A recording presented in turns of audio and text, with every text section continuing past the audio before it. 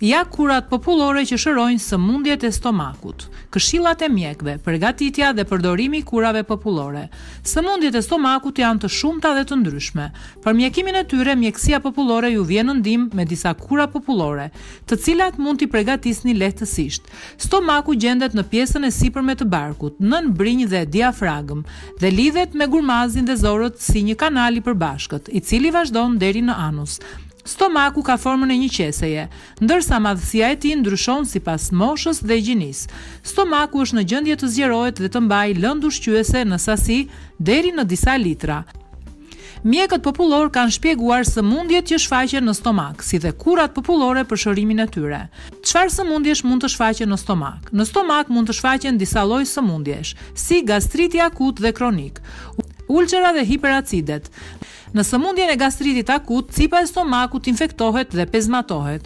Gjithashtu, cipa e stomakut dobësohet nën veprimin e mikroorganizmave, nga substancat kimike, nga ushqimet e prishura dhe sidomos Kur veprohet kundër rregullave të higjienës, si ndikon ushqyerja në gastritin akut? Mënyra e të ushqyerit dhe ushqimi që konsumojmë çdo ditë çdo njeri është një nga shkaktarët kryesorë të kësaj sëmundje.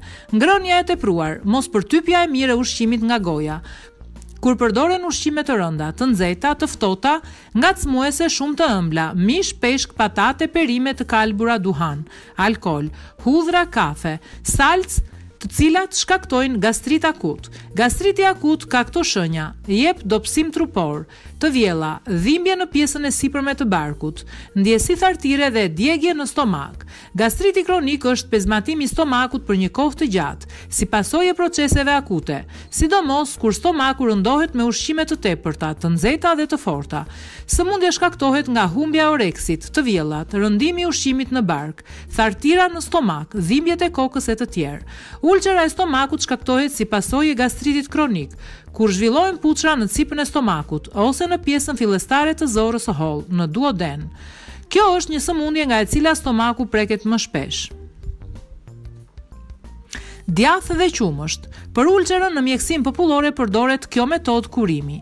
Merrni një kilogram djathë të ri pa kripë, një kilogram qumësht të zier dhe të ftohtë. I përzieni bashkë derisa të formohet një formë kremi. Pregatitjen e mbani në një enë qelqi në frigorifer dhe konsumoheni çdo vakt nga një lugë gjelle para buke. Nenexhik, Një lugë çaji nenexhik i copëtuar e vendosni në një copë leukoplasti, të cilin duhet ta ngjisni mbi kërthizë.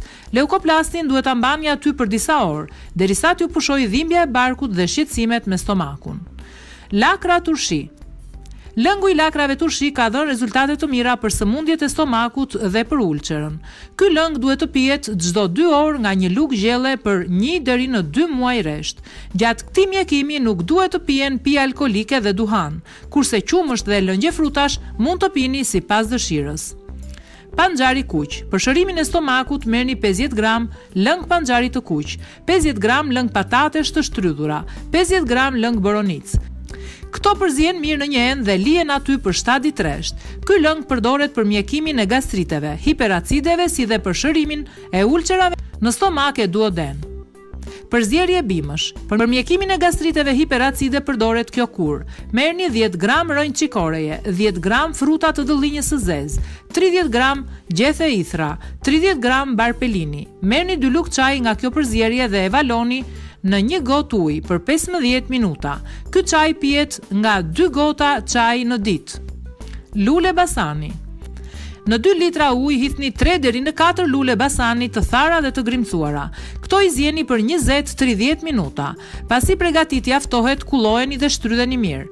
Çaji pihet gjatë ditës një ose dy gota ujë, pak i vakët dhe i ëmbëlsuar sipas dëshirës. Majdanoz. Merrni një lugë gjelle majdanoz, një lugë gjelle rrënjë grami dhe një dorë mustaqe misri. Përzierjen ziejeni me tre gota ujë për pesëmbëdhjetë, njëzet minuta. Pregatitja pihet dy herë në ditë nga një gotë e gjysëm ujë përpara buke, për pesë deri në gjashtë ditë rresht. Raki Për mjekimin e ulçerës merrni çdo ditë esëll tridhjetë deri në dyzet gramë raki rrushi të fortë nëntëmbëdhjetë gradë. Kjo pihet me gllënjka. Gjysëm ore pas pirjes së rakisë hani një lugë gjelle me mjaltë, kurse në darkë para gjumit një lugë gjelle me vaj lule basani. Mjekimi vazhdon tridhjetë deri në dyzet ditë. Hudhra Njerëzit që konsumojnë shumë hudhrën janë më pak të prekur nga sëmundja e ulçrës në stomak. Hudhra mund të konsumohet e gatuar, e njomë, por edhe e thatë. Në rastet kur ajo gatuhet, mundësisht, jo shumë e butë, por më e mira do të ishte të skuqet fare pak për të mos humbur vlerat e saj. Kura të dobishme për ulçerën e stomakut. Personat më të prekur nga sëmundja e ulçrës në stomak janë pikërisht meshkujt. Ende nuk dihet shkaku i vërtetë i shfaqjes së saj. Por meqenëse ulçra në shumicën e rasteve është e pranishme te personat që konsumojnë pije alkoolike, mendohet se mund të jetë kjo arsyeja pse ajo është më e përhapur te meshkujt. Njerëzve që vuajnë nga ulçra në stomak nuk u rekomandohet të pinë kafe. Konsumimi i saj do të ishte i dëmshëm për shëndetin e tyre. Gjithashtu nuk u këshillohet përdorimi i aspirinave. Njerëzit që konsumojnë alkool dhe që vuajnë nga kjo sëmundje duhet të tregojnë kujdes të veçantë. Alkooli i marrë me aspirinën ose analgjezikë të ngjashëm rrit rrezikun për gjakderdhje nga stomaku. Mjalti. Një prej mundësive të pakta që përdoret për kurimin e ulçerës në stomak është mjalti. Vetitë e tij kuruese janë të dukshme. Nëse ai përdoret të paktën 4 lugë çaji mjalt në ditë. Ky përfundim u bë i ditur pas shpalljes së rezultateve të një studimi të kryer në Zelandën e Re. Në të kanë marrë pjesë më shumë se dy mijë pjesëmarrës, në të cilat u vërtetuan efektet pozitive të tij. Mjalti kishte në përbërje të tij elementë të cilët kishin efekt rigjenerues, sidomos te plagët. Ai pastronte ato dhe i mbronte nga infeksionet e ndryshme. Për kurimin e kësaj sëmundje shpesh mjalti mund të përdoret me lëngun e gjetheve të murrizit. Çaji i këtyre gjetheve duke u përzier me një sasi mjalti mund të lihet njëzet e katër orë në enë dhe më pas të pihet një lugë çdo mëngjes. Çfarë duhet të kenë kujdes personat që vuajnë nga stomaku? Alkooli. Personat që preken më shpejt nga sëmundja e ulçerës në stomak janë meshkujt. Kjo vihet re sidomos tek ata që konsumojnë në mënyrë të rregullt pije alkoolike. Ende nuk është zbuluar se cilat janë shkaqet.